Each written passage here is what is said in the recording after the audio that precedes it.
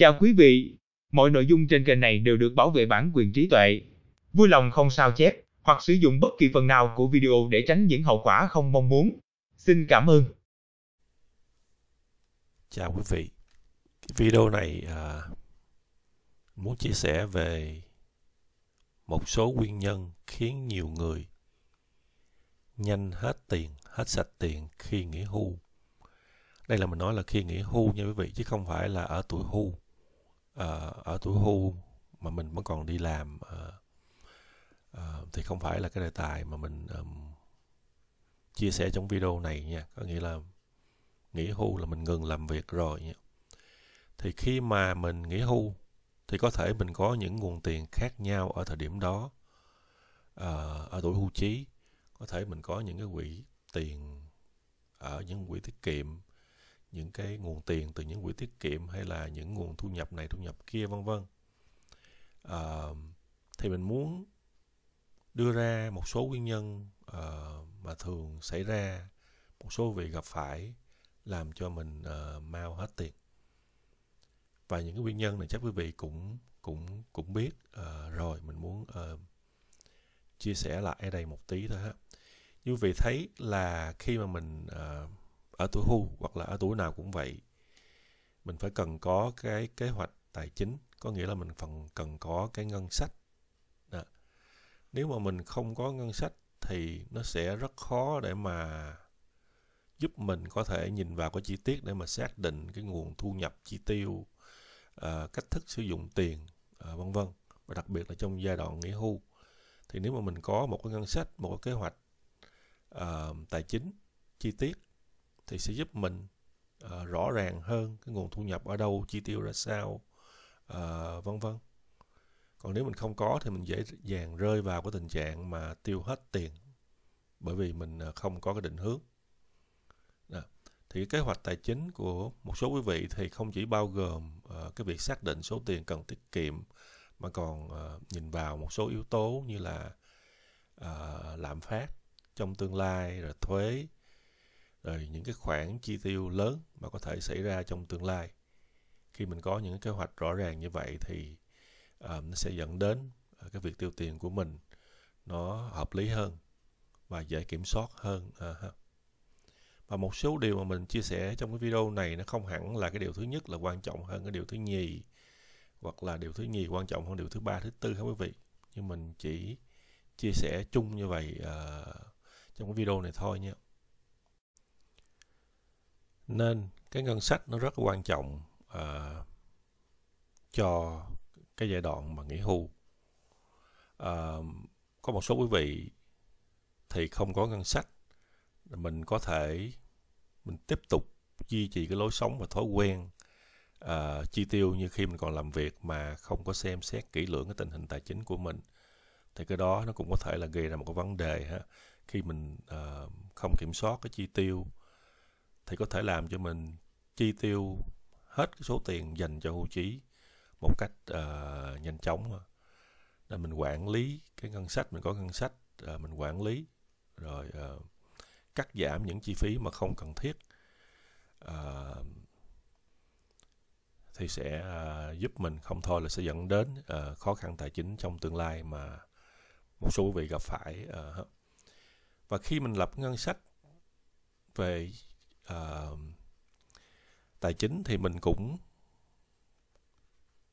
nên lập một cái uh, cái quỹ uh, dự phòng cho những tình huống khẩn cấp không quý vị? Những tình huống khẩn cấp chẳng hạn như là nhà cửa xe cộ mình cần sửa chữa hay là mình cần uh, thay đổi vân vân. Và khi tuổi mình càng cao thì có thể là những cái chi phí liên quan đến y tế sức khỏe có thể xảy ra bất ngờ và có thể là tốn tiền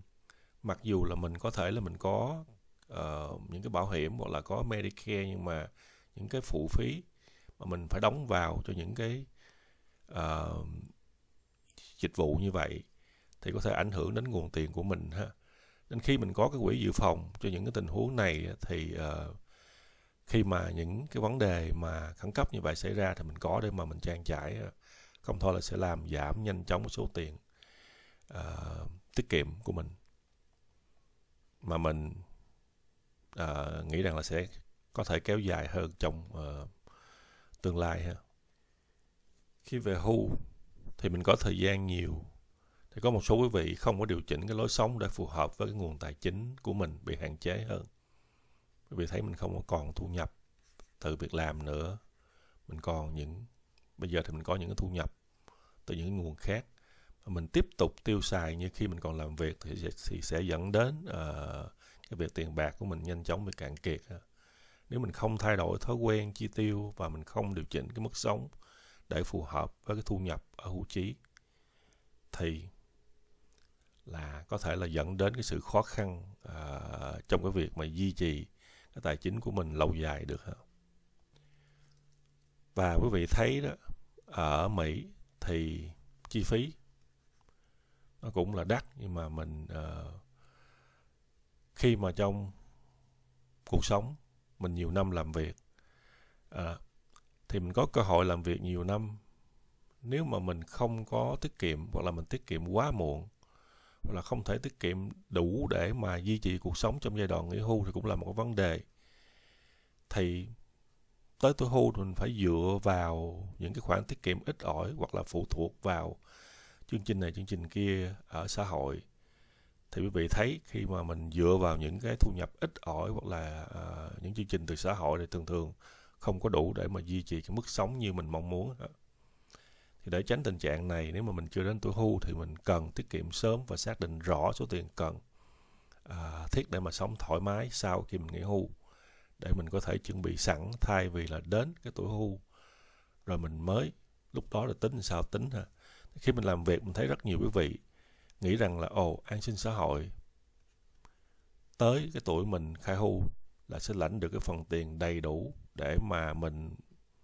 chi trả những chi phí mình thực hiện những cái mục đích mình muốn, chẳng hạn như chẳng hạn như là du lịch hay là điều này điều kia. Là tới chừng mà nhận được mới thấy rằng những con số, chẳng hạn như là vài trăm hay là một, hai ngàn, thì thấy rằng rất là khó khăn để mà đối phó với những chi phí mình có. Chứ huống hồ chi mà có thể dư giả ra để mình thực hiện nhiều điều mà mình uh, nghĩ lúc trước ha. khi mà mình phụ thuộc quá nhiều vào một nguồn vào một nguồn thu nhập và đặc biệt là thu nhập ví dụ như từ tiền hưu an sinh xã hội để mà mình có thể thanh toán hết tất cả những chi phí và những điều mình muốn ở tuổi hưu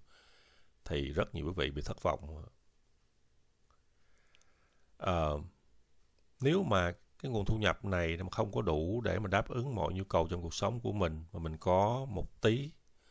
tiền từ những cái quỹ khác thôi là quý vị thấy là sẽ bị thâm vào và sẽ nhanh chóng hết tiền thôi. Khi mà mình không có đa dạng quá những cái nguồn thu nhập để mà à, đến tuổi hưu của mình à, mình có thể có nhiều cái nguồn thu nhập thì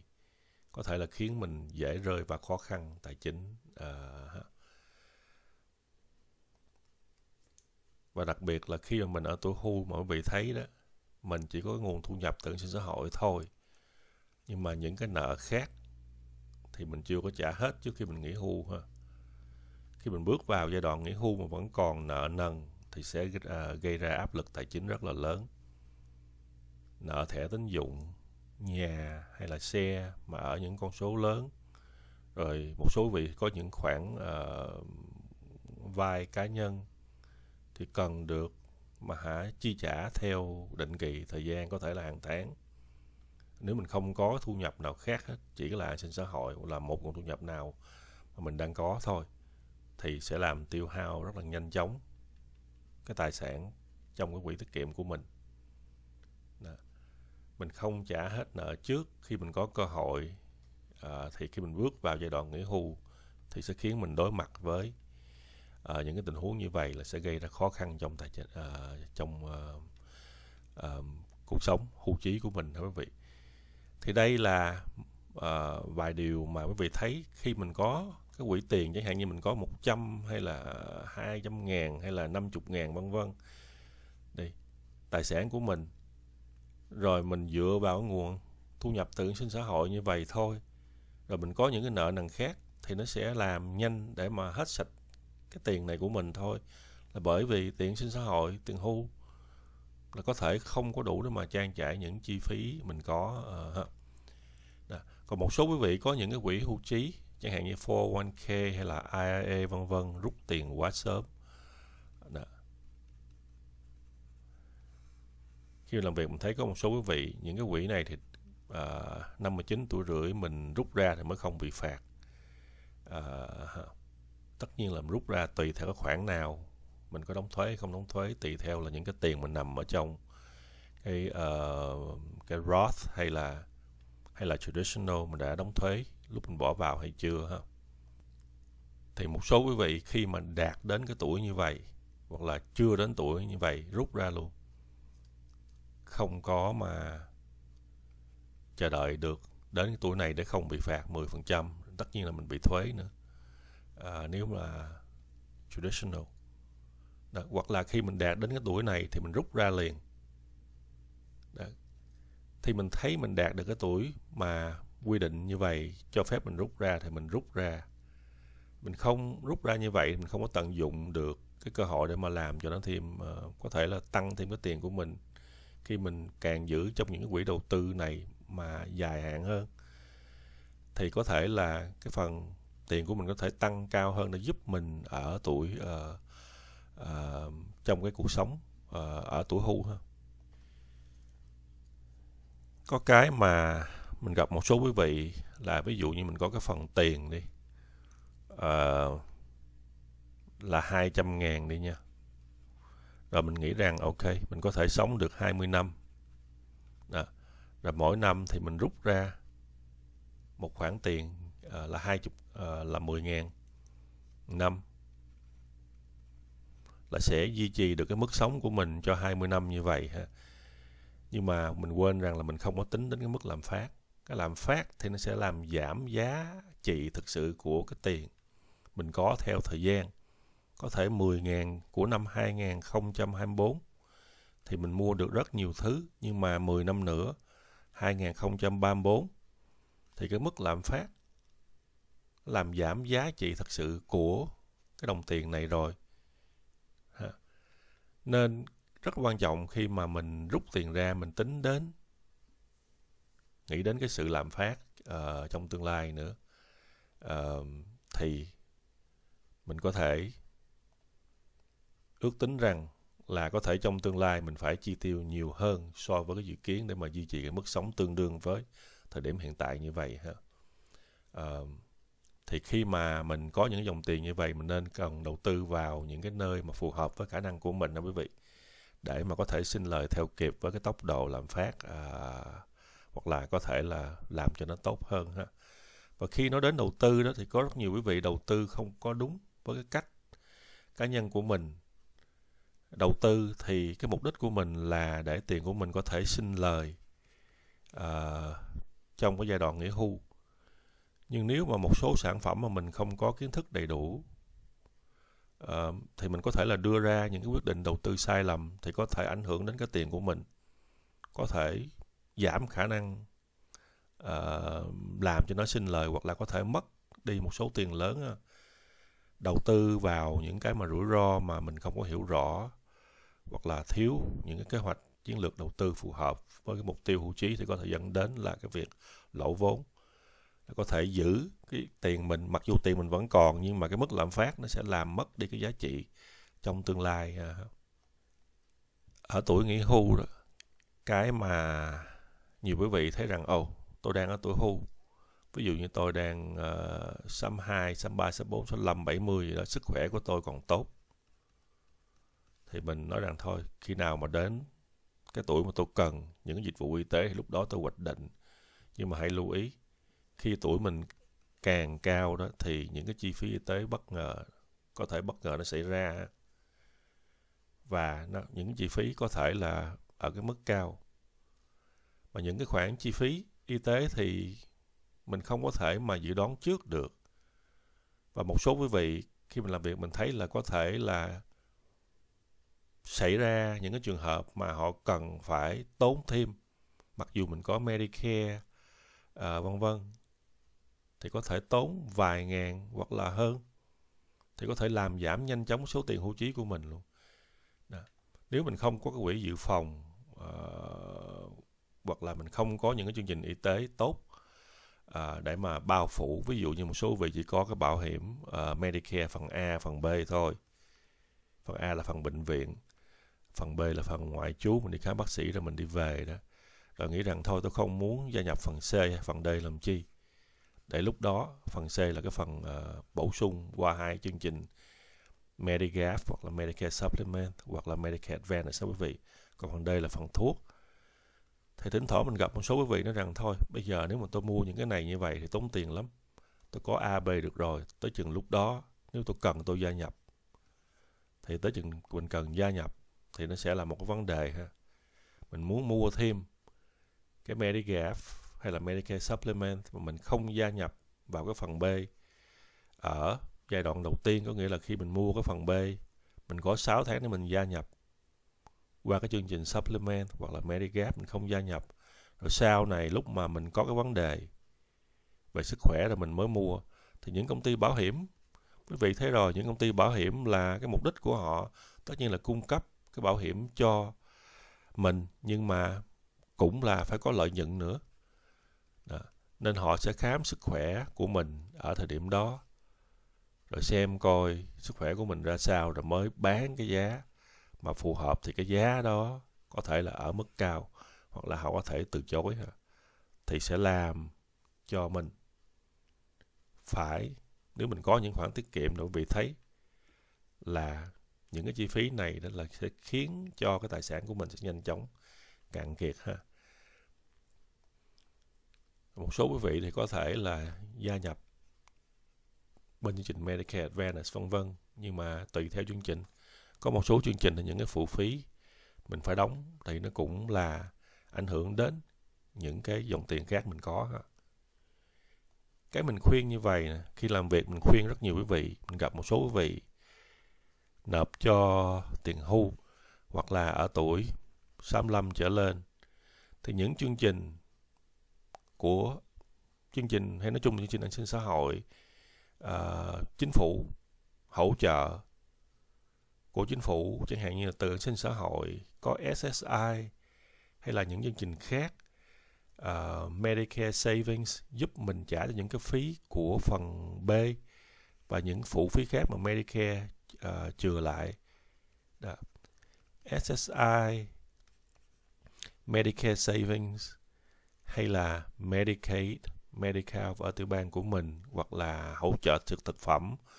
qua chương trình SNAP, Food Stamps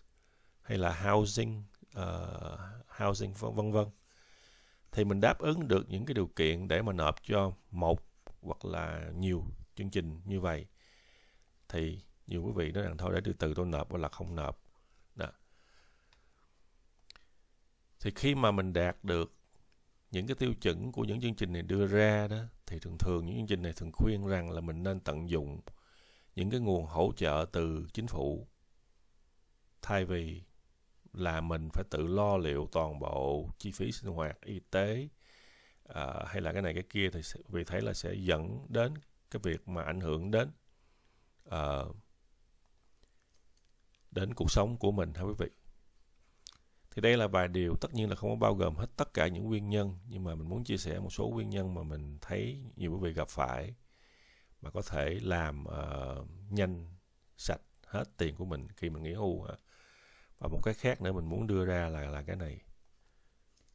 Cái liên quan đến hỗ trợ từ thiện. Đó. À, làm từ thiện là tốt hỗ trợ là tốt nha. À, có thể là từ thiện ở ngoài hoặc là trong gia đình của mình ha. Thì khi mà mình ở tuổi hưu thì mình có xu hướng là giúp đỡ ví dụ như có con cái cháu chắc vân vân là người thân thì về mặt tài chính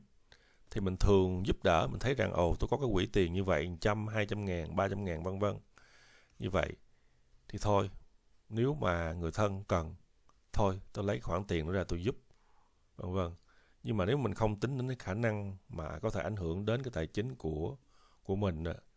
thì hãy lưu ý khi mà mình giúp và những cái tiền này nó cạn xuống uh, nhanh chóng như vậy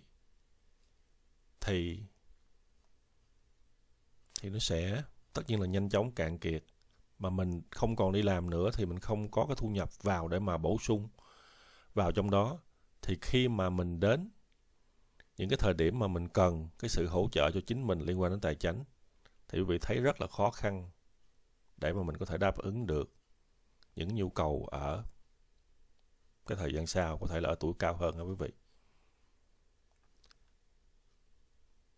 Nên khi mà mình có kế hoạch rõ ràng về cái nguồn tài chính của mình đang có là ra sao những chi tiêu là ra sao à, những cái dự trữ cho tương lai là ra sao thì thì mình